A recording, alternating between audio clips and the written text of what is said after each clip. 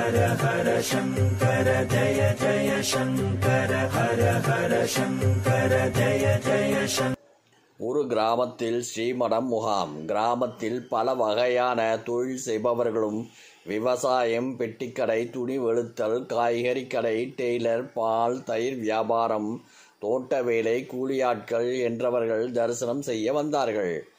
பெரியவாளுக்கு கள்ளங்கபடம் இல்லாத கிராமத்து மக்களிடம் ரொம்பவும் பரிவு உண்டு.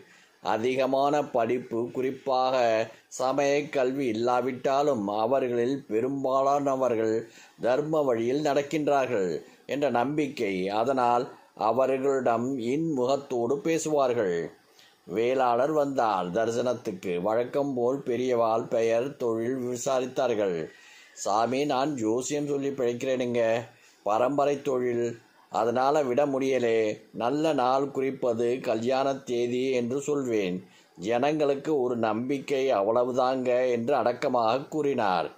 பெரியவாள் பிரசாதம் கொடுக்க சொன்னார்கள். வேளாளர் பிரசாதத்தை பெற்றுக்கொள்ளாமலே சாமி கிட்ட ஒரு பிரார்த்தனை ஜோசியம் கத்துக்கிற மாதிரி தமிழில் புஸ்தகம் வேணும் சாமிதான் கொடுத்து உதவணும் என்று கேட்டுக்கொண்டார். கும்பகோணம் ஸ்ரீமடத்திலிருந்து சில ஜோசிய புத்தகங்களை கொடுக்கும்படி அணுக்கு தொண்டரிடம் சொன்னார்கள் பெரியவா. கிராமத்து ஜோசியருக்கு கண்களில் தண்ணீர் தழும்புகின்ற அளவுக்கு மகிழ்ச்சி. நான் சொல்கின்ற ஜோசியம் வாக்கு பலிதம் ஆகணும். அதுக்கு பெரியவங்க அருள் செய்யணும் என்று கேட்டுக்கொண்டார் நெஞ்சு தழுதழுக்க.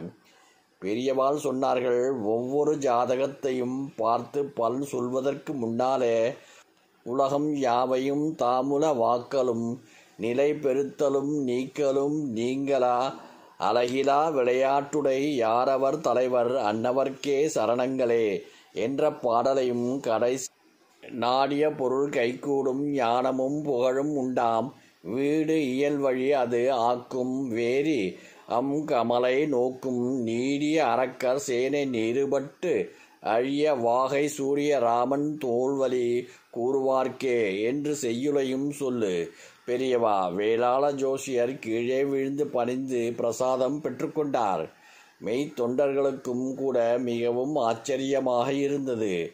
அறிவு செல்வமும் பொருட்செல்வமும் படைத்த எத்தனையோ பக்தர்கள் இருக்க அவர்களுக்கு கிடைக்காத பெரும்பேறு இந்த கிராமத்து வாசிக்கு கிடைத்திருக்கிறதே. நாடிய பொருள் கைகூடும் என்ற சொற்களை ஜோசியரிடமிருந்து கேட்டால் மக்கள் எவ்வளவு சந்தோஷப்படுவார்கள்? இவை கம்பா ராமாயண பாடல் என்பது கூட பல பேருக்கு தெரிந்திருக்காது. பாடலில் ஒரு சொல் கூட பிசகாமல் சொன்னார்கள் பெரியவாள். எப்படி பெரியவாளுக்கு தெரிந்தது? பாடலிலேயே ஒரு பதில் இருக்கிறது. சிலை ராமன் தோல்வலி கூறுவார்க்கே ஞானமும் புகழும் உண்டாம். हर हर शङ्कर जय जय शङ्कर हर हर शङ्कर जय जय शङ्कर